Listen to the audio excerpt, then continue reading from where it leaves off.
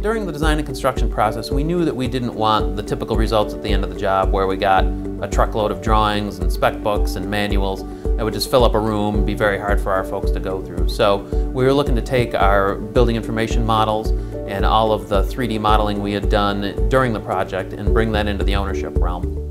I'm Adam Troidel, Construction Manager with Maine General Medical Center. We completed the Alfond Center for Health in late 2013 it's a 640,000 square foot new regional hospital here in Augusta, Maine. Uh, we have 192 inpatient beds. We used integrated project delivery with a very large team on this project.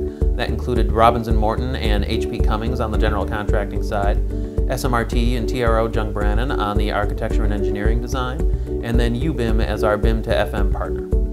The YouBIM team was great to work with. We had a number of different data sources, both in 3D models and in equipment data that we had to integrate and bring together. We had up to 10 modeling softwares from Revit for architectural and structural, AutoCAD MEP, and then a variety of other fabrication softwares that the contractors use. So we needed to bring all those together and then capture all of the data that was either in the models or in spreadsheets or handwritten in some cases, pull all that into one final model in YouBIM so that we have one viewer that our guys can look at uh, that seems to them like it's a seamless, you know, one source product.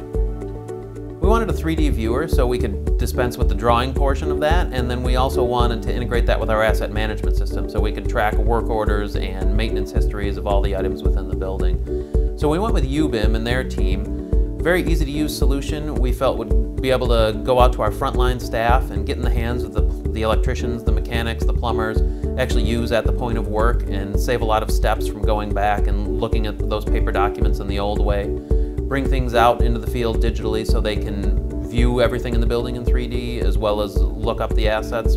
We expect with this system to really increase efficiency and you know therefore save operational dollars. So based on the national study data, normalized to this size of building that we have here, we expect to save anywhere between $185 and $225,000 a year.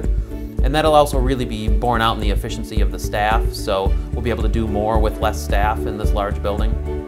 A good example would be someone, a tech going out into the field, looking at, say, an air handler in the field, and then needing to look up the performance data for that. So the air handler for us is just one asset, but it's obviously comprised of many parts and sections. So they can go and look into the owner manual, right online, um, see the PDF of that, and review the maintenance history of that item. Now that we have the 3D models and all of the BIM data tied into our asset management system and all of that's integrated, our next step is to try to bring in the building controls information and have the building management system populate live in the 3D viewer so that we can see that live performance data along with all of our asset records in the 3D model.